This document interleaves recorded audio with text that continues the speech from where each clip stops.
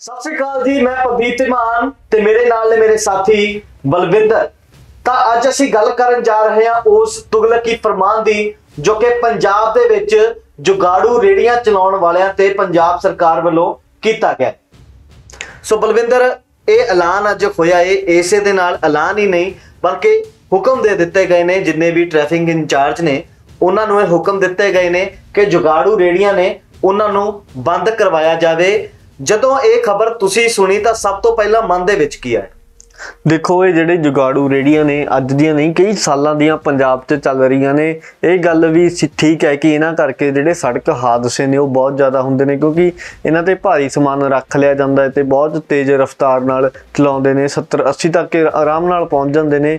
ਜਦੋਂ ਲੋਡ ਭਰਿਆ ਹੁੰਦਾ, ਇੱਕ ਤਾਂ ਜੁਗਾੜ ਆ, ਇੱਕਦਮ ਗੱਡੀ ਦੇ ਬ੍ਰੇਕ ਮਾਰੀਏ, ਰੇੜੀ ਦੇ ਰੇੜੀ ਨਹੀਂ ਰੁਕਦੀ ਤਾਂ ਹਾਦਸੇ ਵੀ ਹੋ ਜਾਂਦੇ ਨੇ ਇਸ ਕਰਕੇ ਸਰਕਾਰ ਦਾ ਫਰਮਾਨ ਤਾਂ ਸਹੀ ਹੈ ਪਰ ਲਾਗੂ ਕਰਨ ਦਾ ਤਰੀਕਾ ਸਹੀ ਨਹੀਂ ਹੈਗਾ। ਤੁਸੀਂ ਸੁਣਿਆ ਹੋਣਾ ਕਿ ਗੁੜਗਾਉਂ ਦੇ ਵਿੱਚ ਨੇ ਜਿਹੜੇ ਡੀਜ਼ਲ ਆਟੋ ਸੀਗੇ ਜਿਹੜੇ ਉਹ ਬੰਦ ਕਰ ਦਿੱਤੇ ਗਏ ਸੀ ਪਰ ਉਹਨਾਂ ਵੱਲੋਂ ਲੋਕਾਂ ਨੂੰ ਸਮਾਂ ਦਿੱਤਾ ਗਿਆ ਸੀ ਕਿ ਤੁਸੀਂ ਇਲੈਕਟ੍ਰੋਨਿਕ ਆਟੋ ਖਰੀਦੋ ਤੇ ਨਾਲ ਹੀ ਉਹਨਾਂ ਲਈ ਸਬਸਿਡੀ ਵੀ ਮੁਹੱਈਆ ਕਰਵਾਈ ਗਈ ਸੀ।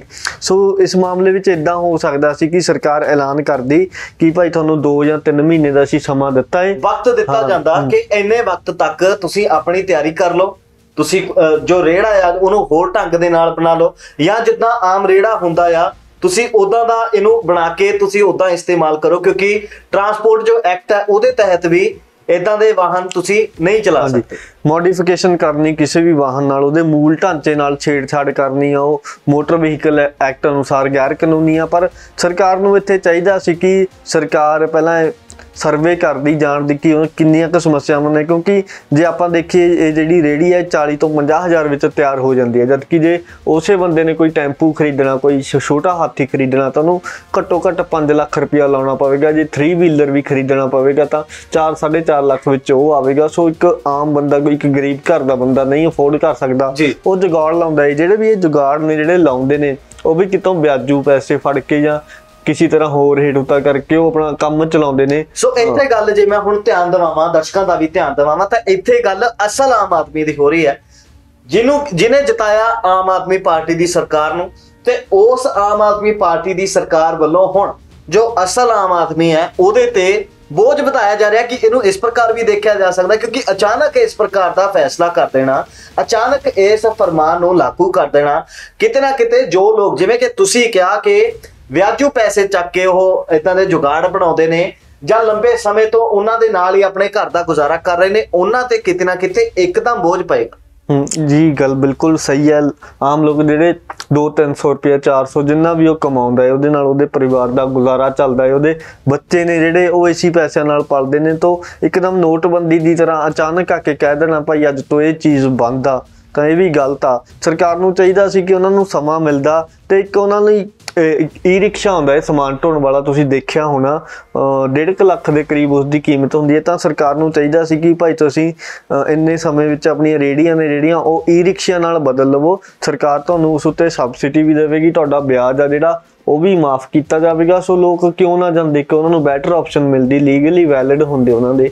ਪਰ ਸਰਕਾਰ ਨੇ ਅਜਿਹਾ ਨਹੀਂ ਕੀਤਾ। ਬਸ ਅੱਜ ਐਲਾਨ ਕਰ ਦਿੱਤਾ ਕਿ ਇਹ ਜਿਹੜੀਆਂ ਜਗਾੜੂ ਰੇੜੀਆਂ ਨੇ, ਇਹ ਬੰਦ ਹੋ ਜਾਣਗੀਆਂ। ਸੋ ਅੱਜ ਮੈਂ ਤਰ੍ਹਾਂ ਤਰ੍ਹਾਂ ਦੇ ਕਮੈਂਟ ਪੜ੍ਹ ਰਿਹਾ ਸੀਗਾ। ਕਈ ਲੋਕਾਂ ਦਾ ਇਹ ਵੀ ਕਹਿਣਾ ਹੈ ਇਸ ਮਾਮਲੇ ਤੇ ਕਿ ਸਰਕਾਰ ਜਿਹਦਾ ਕਿ ਫਰਜ਼ ਬਣਦਾ ਕਿ ਲੋਕਾਂ ਲਈ ਕੁਝ ਕਰੇ, ਉਹਨਾਂ ਨੂੰ ਪਹਿਲਾਂ ਇਹਨਾਂ ਲੋਕਾਂ ਦੇ ਰੋਜ਼ਗਾਰ ਦਾ ਪ੍ਰਬੰਧ ਕਰਨਾ ਚਾਹੀਦਾ ਸੀ। ਕਿਉਂਕਿ ਜਾਂ ਤਾਂ ਉਹਨਾਂ ਨੂੰ ਰੋਜ਼ਗਾਰ ਹੋਰ ਦੇ ਦਿਓ ਜਾਂ ਉਹਨਾਂ ਦੇ ਰੋਜ਼ਗਾਰ ਦਾ ਉਹਨਾਂ ਦੀ ਪੱਕੀ ਤਨਖਾਹ ਦਾ ਇੰਤਜ਼ਾਮ ਕਰ ਦਿਓ ਜਾਂ ਫਿਰ ਉਹਨਾਂ ਨੂੰ ਉਸੇ ਪ੍ਰਕਾਰ ਦੇ ਨਾਲ ਮਿਲਦਾ ਜੁਲਦਾ ਕੋਈ ਵਾਹਨ ਸਰਕਾਰ ਦੇ ਦਿੰਦੀ ਤਾਂ ਕਿਉਂਕਿ ਜੇ ਆਪਾਂ ਹੁਣ ਤੋਂ 10 ਸਾਲ ਪਹਿਲਾਂ ਦੀ ਗੱਲ ਕਰੀਏ ਬਾਦਲ ਸਰਕਾਰ ਵੇਲੇ ਦੀ ਗੱਲ ਕਰੀਏ ਤਾਂ ਸਕੂਲਾਂ ਦੇ ਵਿੱਚ ਸਾਈਕਲ ਵੰਡੇ ਗਏ ਸੀ ਜਿਹਨੂੰ ਜਿਹਦੇ ਕਰਕੇ ਅਹ, ਇਹ ਕਹਿਣਾ ਵੀ ਗਲਤ ਨਹੀਂ ਹੋਊਗਾ ਕਿ ਜਿਹਦੇ ਕਰਕੇ ਪੰਜਾਬ ਸਰਕਾਰ ਦੇ ਵਿੱਚ ਸ਼੍ਰੋਮਣੀ ਅਕਾਲੀ ਦਲ ਆਈ ਸੀ ਕਿਉਂਕਿ ਉਹਨਾਂ ਵੱਲੋਂ ਜੋ ਹੈ ਸਾਈਕਲ ਵੰਡੇ ਗਏ ਸੀ ਤੇ ਸਾਈਕਲ ਕਿਤੇ ਨਾ ਕਿਤੇ ਉਸ ਟਾਈਮ ਜੇ ਆਪਾਂ ਅਹ, 10 ਤੋਂ 15 ਸਾਲ ਪਿੱਛੇ ਚਲੇ ਜਾਂਦੇ ਆ ਤਾਂ ਬੇਸਿਕ ਨੀਡ ਸੀ।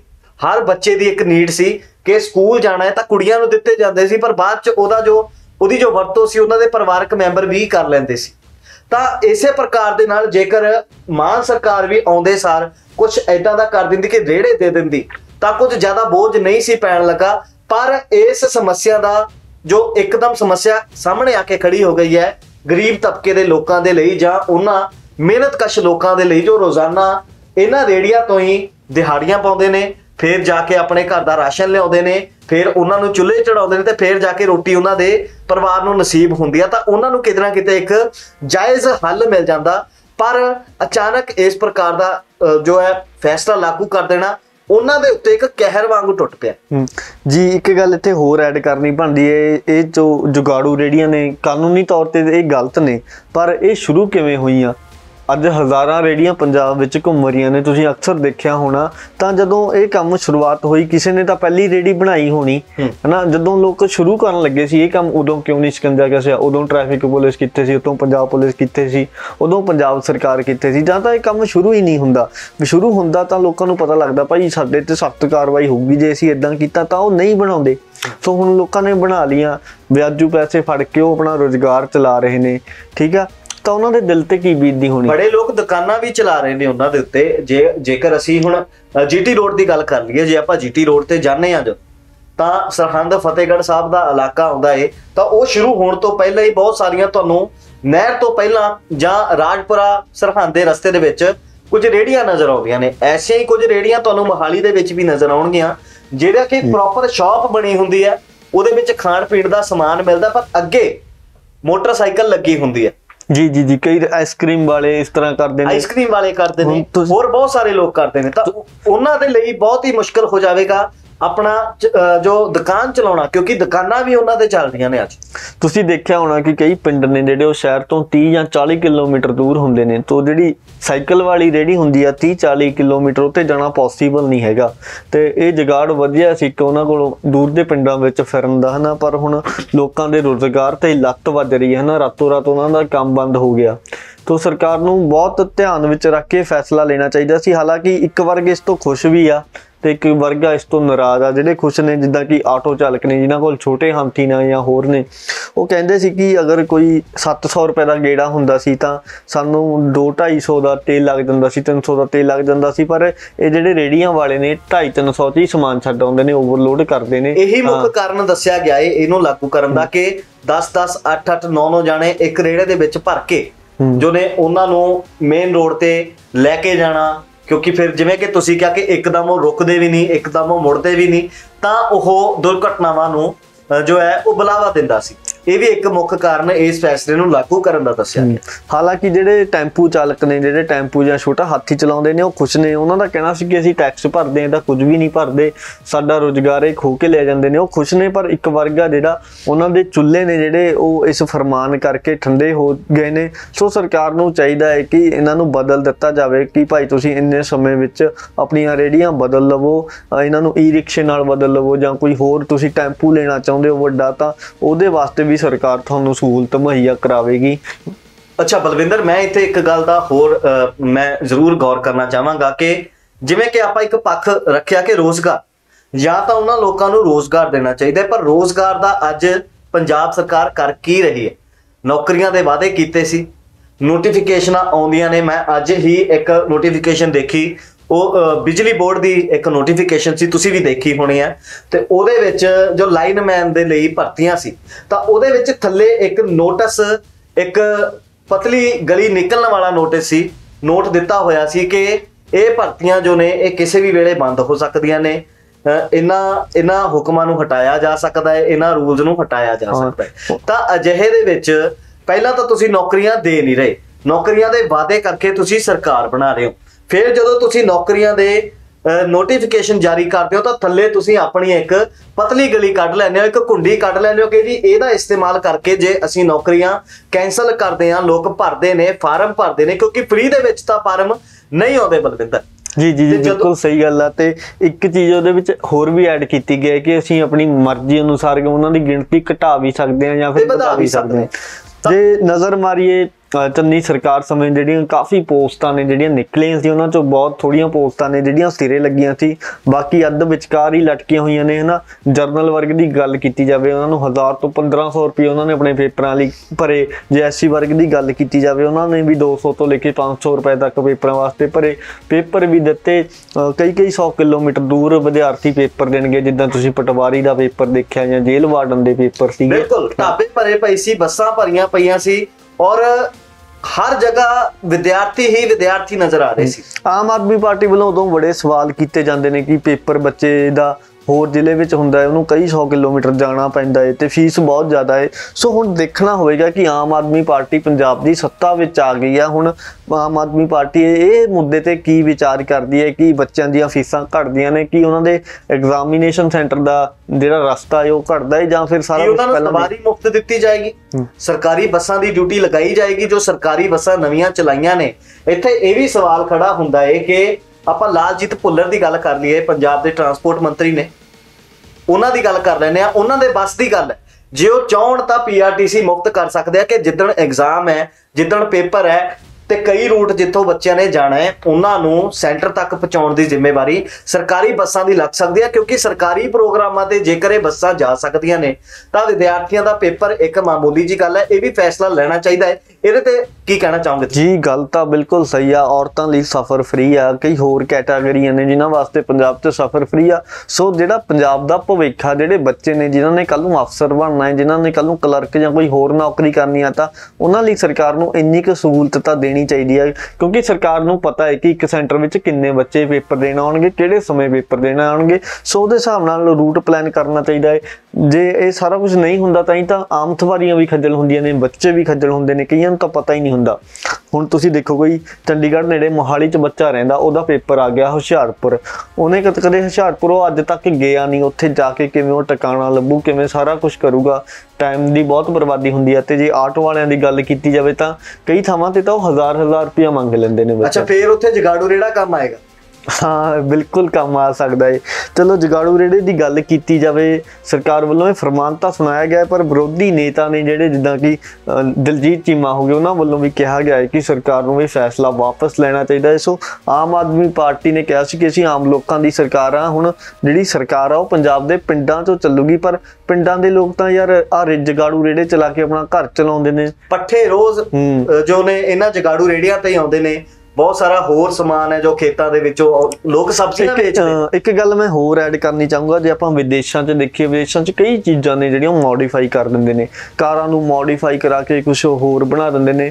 ਤਾਂ ਉਹ ਚੀਜ਼ ਆ ਜਿਹੜੀ ਲੀਗਲ ਹੁੰਦੀ ਆ ਉੱਥੇ ਅਪਰੂਵਡ ਹੁੰਦੀ ਆ। ਤੁਸੀਂ ਦੇਖਿਆ ਹੋਣਾ ਕਿ 1960 ਮਾਡਲ ਕਾਰਾਂ ਨੂੰ ਵੀ ਮੋਡੀਫਾਈ ਕਰਾ ਕੇ ਉਹ ਰੋਡ ਤੇ ਚਲਾ ਰਹੇ ਨੇ। ਸੋ ਉਹਦਾ ਇੱਕ ਪ੍ਰੋਸੈਸ ਹੁੰਦਾ ਹੈ ਕਿ ਜਿਹੜਾ ਵੀ ਸੰਬੰਧਿਤ ਵਿਭਾਗ ਆ ਟਰਾਂਸਪੋਰਟ ਵਿਭਾਗ ਆ ਡੀਟੀਓ ਆਰਟੀਓ ਜੋ ਵੀ ਆ ਤਾਂ ਉਹਦੀ ਇਨਫੈਕਟ ਉਹ ਕਰਦਾ ਚੈਕਿੰਗ ਪੂਰੀ ਕਿ ਇਹ ਵਾਹਨ ਰੋਡ ਤੇ ਚੱਲਣ ਵਾਲਾ ਹੈ ਜਾਂ ਨਹੀਂ, ਇਹਦੇ ਵਿੱਚ ਕੀ ਖਾਮੀਆਂ ਨੇ? ਅਗਰ ਕੋਈ ਵੀ ਖਾਮੀ ਨਹੀਂ ਪਾਈ ਜਾਂਦੀ ਤਾਂ ਉਹਨੂੰ ਲੀਗਲ ਕਰ ਦਿੰਦੇ ਨੇ, ਤਾਂ ਹੋ ਸਕਦਾ ਕਿ ਪੰਜਾਬ ਵਿੱਚ ਜਿਹੜੇ ਇਹ ਬਣ ਰਹੇ ਨੇ, ਇਹਨਾਂ ਨੂੰ ਮਾਨਤਾ ਦਿੱਤੀ ਜਾਵੇ। ਜਿੱਦਾਂ ਕਈ ਕੰਪਨੀਆਂ ਨੇ ਜਿਹੜੀਆਂ ਮੋਟਰਸਾਈਕਲ ਬਣਾਉਂਦੀਆਂ ਨੇ, ਉਹ ਇਹ ਚੀਜ਼ਾਂ ਵੀ ਬਣਾ ਸਕਦੀਆਂ ਨੇ। ਸੋ ਇਹ ਚੀਜ਼ ਜੇ ਲੀਗਲੀ ਬਣ ਜਾਵੇਗੀ ਤਾਂ ਬਹੁਤ ਹੀ ਵਧੀਆ ਹੋਵੇਗਾ, ਆਮ ਲੋਕਾਂ ਨੂੰ ਵੀ ਸਹੂਲਤ ਹੋਵੇਗੀ। ਇੱਕ ਸ਼ਾਇਦ ਅਰਬ ਕੰਟਰੀ ਦੀ ਤੁਸੀਂ ਵੀਡੀਓ ਦੇਖੀ ਹੋਣੀ ਕਿ ਇਸੇ ਤਰ੍ਹਾਂ ਦਾ ਇੱਕ ਜਗਾੜੂ ਰੇੜਾ ਹੁੰਦਾ ਹੈ, ਉਹਦੇ ਵਿੱਚ ਇੱਕ ਜੈਕ ਲੱਗਿਆ ਹੁੰਦਾ ਹੈ, ਟਿੱਪਰ ਦੀ ਤਰ੍ਹਾਂ। ਤਾਂ ਉਹ ਸਮਾਨ ਢੋਣ ਵਾਲਿਆਂ ਵਾਸਤੇ ਬਹੁਤ ਵਧੀਆ ਸਿਸਟਮ ਸੀਗਾ। ਤਾਂ ਕੀ ਇਹ ਹੋ ਸਕਦਾ ਕਿ ਬਜਾਏ ਇਹਨਾਂ ਨੂੰ ਰੋਕਣ ਦੇ, ਇਹਨਾਂ ਤੇ ਪਾਬੰਦੀ ਲਗਾਉਣ ਤੇ ਇਹਨਾਂ ਤੇ ਕੁਝ ਕਾਨੂੰਨ ਲਗਾ ਦਿੱਤੇ ਜਾਣ ਕਿ ਤੁਸੀਂ ਇਹਦੇ ਵਿੱਚ ਸਵਾਰੀਆਂ ਨਹੀਂ ਲਿਜਾ ਸਕਦੇ ਜਾਂ ਚਾਰ ਤੋਂ ਵੱਧ ਸਵਾਰੀਆਂ ਨਹੀਂ ਲਿਜਾ ਸਕਦੇ। ਆਪਣਾ ਪਰਿਵਾਰ ਜੇ ਕਿਸੇ ਨੇ ਲਿਜਾਣਾ ਹੋਵੇ ਤਾਂ ਉਹਦੇ ਲਈ ਕੀ ਨਿਯਮ ਹੋ ਸਕਦੇ ਆ? ਜੇਕਰ ਸਮਾਨ ਢੋਣਾ ਤਾਂ ਕਿੰਨਾ ਸਮਾਨ ਤੁਸੀਂ ਢੋ ਸਕਦੇ ਹੋ? ਕਿਸ ਰਫ਼ਤਾਰ ਦੇ ਨਾਲ ਤੁਸੀਂ ਜਾਣਾ ਜਾਂ ਕਿਹੜੀ ਲੇਨ ਦੇ ਵਿੱਚ ਜਾਣਾ? ਰਫਤਾਰ ਬਹੁਤ ਜ਼ਰੂਰੀ ਹੈ ਕਿਉਂਕਿ ਇਹਨਾਂ ਦੀ ਰਫਤਾਰ ਬਹੁਤ ਜ਼ਿਆਦਾ ਹੈ। ਤੇ ਇੱਕ ਗੱਲ ਹੋਰ ਹੈ ਕਿ ਜਦੋਂ ਇਹ ਰਾਤ ਨੂੰ ਜਾਂਦੇ ਨੇ ਆਪਾਂ ਮੋਟਰਸਾਈਕਲ ਕਾਰ 'ਚ ਜਾ ਰਹੇ ਹਾਂ ਤਾਂ ਆਪਾਂ ਨੂੰ ਦੂਰੋਂ ਲੱਗਦਾ ਕਿ ਇੱਕ ਮੋਟਰਸਾਈਕਲ ਆ ਰਿਹਾ ਹੈ ਇੱਕ ਟੂ ਵੀਲਰ ਆ ਰਿਹਾ ਸੋ ਉਹ ਉਹ ਹਿਸਾਬ ਨਾਲ ਬੰਦਾ ਜੱਜ ਕਰਦਾ ਹੈ ਤੇ ਸਾਈਡ ਦਿੰਦਾ ਹੈ। ਪਰ ਜਦੋਂ ਬਿਲਕੁਲ ਕੋਲ ਆਉਂਦੀ ਹੈ ਤਾਂ ਪਤਾ ਲੱਗਦਾ ਹੀ ਭਾਈ ਇਹ ਤਾਂ ਰੇੜੀ ਆ। ਸੋ ਉਹਦੇ ਨਾਲ ਟੱਕਰ ਹੋ ਜਾਂਦੀ ਹੈ। ਦੂਜੀਆਂ ਵਾਲੇ ਡਰਮਾਂ ਨਾਲ ਵੀ ਇਹੀ ਕੁਝ ਵਾਪਰਦਾ ਹੈ। ਸੋ ਪਤਾ ਨਹੀਂ ਲੱਗਦਾ ਇਹ ਬਹੁਤ ਵੱਡਾ ਮੁੱਖ ਕਾਰਨ ਹੈ ਕਿ ਰਾਤ ਸਮੇਂ ਇਹਨਾਂ ਨਾਲ ਬਹੁਤ ਵੱਡੇ ਹਾਦਸੇ ਹੋ ਜਾਂਦੇ ਨੇ। ਸੋ ਬਲਵਿੰਦਰ, ਕੀ ਲੱਗਦਾ ਕਿ ਆਮ ਲੋਕ ਜੋ ਨੇ, ਜੋ ਰੇੜੀਆਂ ਚਲਾਉਣ ਵਾਲੇ ਲੋਕ ਨੇ, ਜਿਨ੍ਹਾਂ ਕੋਲੇ ਜਗਾੜੂ ਰੇੜੇ ਨੇ, ਕੀ ਉਹ ਇਸ ਫੈਸਲੇ ਦੇ ਨਾਲ ਸਹਿਮਤ ਹੋਣਗੇ? ਕਿ ਉਹ ਆਪਣਾ ਸਾਰਾ ਕੰਮ ਧੰਦਾ ਛੱਡ ਕੇ ਕਿਸੇ ਨਵੇਂ ਕੰਮ ਪਾਸੇ ਤੁਰਨਗੇ? ਜਾਂ ਫਿਰ ਹੁਣ ਇਹ ਲੋਕ ਸਰਕਾਰ ਦੇ ਵਿਰੋਧ ਦੇ ਵਿੱਚ ਆਉਣਗੇ? ਕਿਉਂਕਿ ਗੱਲ ਕਰੀਏ ਬਰਨਾਲੇ ਦੀ, ਤਾਂ ਬਰਨਾਲੇ ਦੇ ਵਿੱਚ ਤਾਂ ਜੋ ਰੇੜਾ ਚਾਲਕ ਨੇ, ਜੋ ਜਗਾੜੂ ਰੇੜੇ ਚਲਾਉਂਦੇ ਨੇ, ਉਹਨਾਂ ਵੱਲੋਂ ਸਰਕਾਰ ਦਾ ਵਿਰੋਧ ਸ਼ੁਰੂ ਵੀ ਹੋ ਚੁੱਕਿਆ। ਜੀ ਜੀ ਜੀ, ਵਿਰੋਧ ਤਾਂ ਉਹਨਾਂ ਨੇ ਕਰਨੀ ਆ, ਉਹਦੀ ਰੋਟੀ ਹੈ ਜਿਹੜੀ, ਉਹ ਤੇ ਇੱਕਦਮ ਸਰਕਾਰ ਵੱਲੋਂ ਲੱਤ ਮਾਰ ਦਿੱਤੀ ਗਈ ਆ ਸਿੱਧੇ ਸ਼ਬਦਾਂ ਵਿੱਚ ਜੇ ਆਪਾਂ ਕਹੀਏ, ਕਿਉਂਕਿ ਇਹ ਬਹੁਤ ਵੱਡਾ ਫਰਮਾਨ ਆ, ਸਰਕਾਰ ਨੇ ਇੱਕਦਮ ਸਾਰਾ ਕੁਝ ਲਾਗੂ ਕਰਤਾ ਭਾਈ ਅੱਜ ਤੋਂ ਇਹ ਚੀਜ਼ ਬੰਦ, ਜਿਵੇਂ ਕਿ ਕੁਝ ਸਾਲ ਪਹਿਲਾਂ ਭਾਰਤ ਦੇ ਜਿਹੜੇ ਪ੍ਰਾਈਮ ਮਿਨਿਸਟਰ ਨੇ, ਉਹਨਾਂ ਨੇ ਕਿਹਾ ਸੀ ਕਿ ਹੁਣ ਨੋਟਬੰਦੀ ਹੋ ਗਈ ਭਾਈ ਹੁਣ ਤੁਹਾਡੇ ਪੁਰਾਣੇ ਨੋਟ ਬੰਦ ਨੇ, ਸੋ ਹੁਣ ਇਹਨਾਂ ਨੇ ਕਹਿ ਦਿੱਤਾ ਤੁਹਾਡੀਆਂ ਰੇੜੀਆਂ ਬੰਦ ਨੇ, ਤਾਂ ਕੱਲ ਨੂੰ ਕੁਝ ਹੋਰ ਵੀ ਕਹਿ ਸਕਦੇ ਨੇ ਭਾਈ ਇਹ ਚੀਜ਼ ਬੰਦ ਹੋ ਗਈ, ਸੋ ਆਮ ਲੋਕਾਂ ਦੀ ਜ਼ਿੰਦਗੀ ਤੇ ਬਹੁਤ ਅਸਰ ਪੈਂਦਾ ਹੈ। ਜੇ ਦੇਖਿਆ ਜਾਵੇ, ਇੱਕ ਆਮ ਇਨਸਾਨ ਉਹਨੇ ਫ੍ਰਿਜ ਲਿਆ। ਜਿਹੜਾ ਛੋਟਾ ਹਾਥੀ ਆ ਉਹ ਤੇਲ ਜ਼ਿਆਦਾ ਖਾਊਗਾ ਉਹਨੇ ਬੰਦੇ ਨੇ ਕਿਸ਼ਤ ਵੀ ਭਰਨੀ ਉਹਨੇ ਟੈਕਸ ਵੀ ਭਰਨਾ ਤਾਂ ਉਹਨੇ ਮੰਨ ਲਓ 700 ਰੁਪਇਆ ਕਿਰਾਇਆ ਮੰਗਿਆ ਠੀਕ ਆ ਉਹ ਜਿਹਨੇ ਫ੍ਰਿਜ ਲਿਆ ਵਿਚਾਰੇ ਨੇ ਕੀ ਪਤਾ ਉਹਨੇ ਕਿਸ਼ਤਾਂ ਤੇ ਹੀ ਲਿਆ ਹੋਵੇ ਜੀ। ਉਹਨੂੰ ਤਾਂ ਔਖਾ ਹੋ ਗਿਆ ਨਾ ਕਿ ਯਾਰ ਉਹ- ਉਹੀ 3-400 ਰੁਪਇਆ ਦੇ। ਕੇ ਰੇੜੇ ਵਾਲੇ ਤੋਂ ਵੀ ਆਪਣਾ ਜੋ ਸਮਾਨ ਹੈ ਜੋ ਫ੍ਰਿਜ ਹੈ ਉਹ ਆਪਣੇ ਘਰ ਤੱਕ ਲਿਜਾ ਸਕਦਾ ਹੈ ਕਿਉਂਕਿ ਇਹ ਥੋੜਾ ਸਸਤੇ ਵਿੱਚ ਹੋ ਜਾਂਦਾ ਹੈ ਤੇ ਜੋ ਖਰਚਾ ਹੈ ਉਹ ਬੜੇ ਵੱਡੇ ਪੱਧਰ ਤੇ ਕਹਿ ਸਕਦੇ ਕਿ ਬਚਦਾ ਹੂੰ। ਜੇ 2-300 ਰੁਪਇਆ ਵੀ ਉਹਨਾਂ ਦਾ ਬਚਦਾ ਹੈ ਤਾਂ ਆਮ ਇਨਸਾਨ ਜਿਹਦੀ ਜੇਬ ਤੇ ਪਹਿਲਾਂ ਹੀ ਭਾਰ ਬਹੁਤ ਵੱਧ ਚੁੱਕਿਆ ਏ ਸਬਜ਼ੀਆਂ ਦਾ ਭਾਰ ਵੱਧ ਚੁੱਕਿਆ ਏ ਤੇਲ ਦਾ ਭਾਰ ਵੱਧ ਚੁੱਕਿਆ ਹੈ ਗੈਸ ਦਾ ਪੈਟਰੋਲ ਦਾ ਡੀਜ਼ਲ ਦਾ ਹਰ ਚੀਜ਼ ਦਾ ਭਾਰ ਵੱਧ ਚੁੱਕਿਆ ਹੈ ਉਹਦੇ ਲਈ 2-400 ਰੁਪਇਆ ਬਹੁਤ ਹੀ ਮਾਇਨੇ ਰੱਖਦਾ ਹੈ ਤਾਂ ਉਹਨਾਂ ਵੱਲੋਂ ਜਗਾੜੂ ਰੇੜਿਆਂ ਨੂੰ ਹੀ ਪਹਿਲ ਦਿੱਤੀ ਜਾਵੇਗੀ। ਜੀ ਜੀ ਜੀ। ਤੁਸੀਂ ਦੇਖਿਆ ਹੋਣਾ, ਇੱਕ ਨੈਨੋ ਗੱਡੀ ਆਈ ਸੀ ਮਾਰਕੀਟ ਦੇ ਵਿੱਚ। ਮੇਰਾ ਖਿਆਲ ਆ 2010 ਜਾਂ 11 ਵਿੱਚ ਲਾਂਚ ਹੋਈ ਸੀ। 1000 60000 1 ਲੱਖ 60000 ਦੀ ਕੀਮਤ ਸੀ ਉਸ ਦੀ ਸੋ ਇੱਕ ਬਹੁਤ ਵਧੀਆ ਆਪਸ਼ਨ ਸੀ, ਇੱਕ ਗਰੀਬ ਬੰਦਾ ਸੀ ਲਾ ਲਓ, ਜਿਹੜਾ ਚਾਹੁੰਦਾ ਸੀ ਕਿ ਮੈਂ ਆਪਣੇ ਪਰਿਵਾਰ ਨਾਲ ਕਾਰ 'ਚ ਜਾਵਾਂ, ਉਹਦੇ ਕੋਲ ਬਹੁਤ ਵਧੀਆ ਆਪਸ਼ਨ ਸੀਗਾ। ਤਾਂ ਉਹ 1 ਲੱਖ 60000 ਰੁਪਇਆ ਖਰਚ ਕੇ ਇੱਕ ਕਾਰ ਮਿਲ ਜਾਂਦੀ ਸੀ, ਚਾਰ ਬੰਦੇ ਉਹ 'ਚ ਬਹਿ ਜਾਂਦੇ ਨੇ। ਤੋਂ, ਬੰਦਾ ਕਿਤੇ ਵੀ ਜਾ ਸਕਦਾ, ਜੇ ਅੱਜ ਦੇਖਿਆ ਜਾਵੇ, ਮਹਿੰਗਾਈ ਆ ਜਿਹੜੀ ਇੰਨੀ ਹੋ ਗਈ ਹੈ ਤਾਂ ਸਭ ਤੋਂ ਸਸਤੀ ਕਾਰ ਘੱਟੋ ਘੱਟ 4 ਲੱਖ 40 ਜਾਂ 50 ਹਜ਼ਾਰ ਚ ਮਿਲਦੀ ਆ। ਸੋ ਇਹ ਬਹੁਤ ਵੱਡਾ ਮੁੱਦਾ ਹੈ ਹਨਾ? ਸੋ ਸਰਕਾਰ ਨੂੰ ਧਿਆਨ ਦੇਣਾ ਚਾਹੀਦਾ। ਇੱਕ ਪਾਸੇ ਤਾਂ ਕਰੋਨਾ ਤੋਂ ਬਾਅਦ ਲੋਕ ਆਰਥਿਕ ਸੰਕਟ ਦੇ ਵਿੱਚੋਂ ਗੁਜ਼ਰ ਰਹੇ ਨੇ ਤੇ ਦੂਜੇ ਪਾਸੇ ਸਰਕਾਰ ਨੇ ਇਹ ਫਰਮਾਨ ਜਾਰੀ ਕਰ ਦਿੱਤਾ। ਹੈ ਸਰਕਾਰ ਨੂੰ ਚਾਹੀਦਾ ਕਿ ਜਿਹੜੇ ਅਧਿਕਾਰੀ ਨੇ, ਜਿਹੜੇ ਆਈਐਸ ਨੇ, ਜਿਹੜੇ ਸਾਰੇ ਰੂਲ ਬਣਾਉਂਦੇ ਨੇ, ਉਹ ਉਹਨਾਂ ਨਾਲ ਮੁਲਾਕਾਤ ਕੀਤੀ ਜਾਵੇ। ਟਰਾਂਸਪੋਰਟ ਦੇ ਅਧਿਕਾਰੀਆਂ ਨਾਲ ਮੁਲਾਕਾਤ ਕੀਤੀ ਜਾਵੇ ਤੇ ਇੱਕ ਨੀਤੀ ਬਣਾਈ ਜਾਵੇ ਕਿ ਇਹ ਜੇ ਲੀਗਲ ਹੋ ਸਕਦੇ ਨੇ ਤਾਂ ਇਹਨਾਂ ਨੂੰ ਲੀਗਲ ਕੀਤਾ ਜਾਵੇ। ਜੇ ਇਹ ਬੰਦ ਹੋ ਸਕਦੇ ਨੇ ਤਾਂ ਇੱਕ ਵਿਉਂਤ ਬਣਾਉਣੀ ਚਾਹੀਦੀ ਹੈ ਕਿ ਲੋਕਾਂ ਨੂੰ ਰੋਜ਼ਗਾਰ ਦਾ ਇੱਕ ਬਦਲ ਦਿੱਤਾ ਜਾਵੇ। ਜਾਂ ਫਿਰ ਉਹਨਾਂ ਨੂੰ ਕਾਨੂੰਨਨ ਤੌਰ ਤੇ ਕੁਝ ਨਿਯਮ ਲਾਗੂ ਕਰਕੇ ਉਹਨਾਂ ਨੂੰ ਚੱਲਣ ਹੀ ਦਿੱਤਾ ਜਾਵੇ। ਤਾਂ ਜੋ ਜੋ ਐਕਸੀਡੈਂਟ ਨੇ ਜੋ ਐਕਸੀਡੈਂਟ ਤੋਂ ਬਾਅਦ ਆਉਣ ਵਾਲੇ ਪ੍ਰਭਾਵ ਨੇ ਉਹਨਾਂ ਤੇ ਰੋਕਿਆ ਜਾ ਸਕੇ। ਅ, ਸੋ ਮੇਰੇ ਨਾਲ ਮੇਰੇ ਸਾਥੀ ਬਲਵਿੰਦਰ ਮੈਂ ਪ੍ਰਦੀਪ ਤਿਮਾਨ ਅੱਜ ਅਸੀਂ ਅ, ਖਾਸ ਤੌਰ ਤੇ ਡਿਸਕਸ਼ਨ ਕੀਤੀ ਹੈ ਪੰਜਾਬ ਸਰਕਾਰ ਦੇ ਜਾਂ ਕਹਿ ਲਈਏ ਕਿ ਭਗਵੰਤ ਮਾਨ ਦੀ ਨਵੀਂ ਸਰਕਾਰ ਦੇ ਇਸ ਹੁਕਮ ਦੇ ਉੱਤੇ, ਜਿਹਦੇ ਮੁਤਾਬਕ ਜੋ ਪੰਜਾਬ ਦੇ ਵਿੱਚ ਜਗਾੜੂ ਰੇੜੇ ਚੱਲਦੇ ਨੇ, ਉਹਨਾਂ ਤੇ ਪਾਬੰਦੀ ਲਗਾ ਦਿੱਤੀ ਗਈ ਹੈ। ਸਖਤ ਤੌਰ ਤੇ ਨਿਰਦੇਸ਼ ਜੋ ਨੇ, ਉਹ ਟ੍ਰੈਫਿਕ ਇੰਚਾਰਜ ਜੋ ਨੇ, ਉਹਨਾਂ ਨੂੰ ਦੇ ਦਿੱਤੀ ਗਈ ਹੈ। ਤਾਂ ਇੱਥੇ ਵੇਖਣਾ ਇਹ ਹੋਵੇਗਾ ਕਿ ਕਦੋਂ ਤੱਕ ਸਰਕਾਰ ਦੇ ਇਹਨਾਂ ਹੁਕਮਾਂ ਦਾ ਅਸਰ ਜੋ ਹੈ ਉਹ ਆਮ ਲੋਕ ਚੱਲ ਪਾਉਣਗੇ ਜਾਂ ਨਹੀਂ ਪਾਉਣਗੇ, ਜਾਂ ਫਿਰ ਹੁਣ ਤਕਰਾਰ ਦੀ ਸਥਿਤੀ ਬਣੇਗੀ ਜੋ ਆਮ ਲੋਕ ਨੇ ਕਿਰਤੀ ਲੋਕ ਨੇ ਜਾਂ ਜਗਾੜੂ ਰੇੜੇ ਵਾਲੇ ਲੋਕ ਨੇ ਉਹ ਸਰਕਾਰ ਦੇ ਖਿਲਾਫ ਮੈਦਾਨ ਵਿੱਚ ਹੁਣ ਉਹਨਾਂ ਨੂੰ ਉਤਰਨਾ ਹੀ ਪਏਗਾ ਤਾਂ ਆਪਣੀ ਕੋਈ ਵੀ رائے ਇਸ ਮੁੱਦੇ ਸੰਬੰਧੀ ਤੁਸੀਂ ਕਮੈਂਟ ਕਰਕੇ ਸਾਨੂੰ ਜ਼ਰੂਰ ਦੱਸਣਾ ਦੇਸ਼ ਅਤੇ ਦੁਨੀਆ ਨਾਲ ਜੁੜੀਆਂ ਹਰ ਪ੍ਰਕਾਰ ਦੀਆਂ ਅਪਡੇਟਸ ਦੇ ਲਈ ਇਸ ਦੇ ਪ੍ਰਕਾਰ ਬਣੇ ਰਹਿਣਾ ਸਾਡੇ ਨਾਲ ਤੇ ਦੇਖਦੇ ਰਹਿਣਾ ਵਾਇਸ ਆਫ ਪੰਜ ਆਪ ਟੀਵੀ ਸਤਿ ਸ਼੍ਰੀ ਅਕਾਲ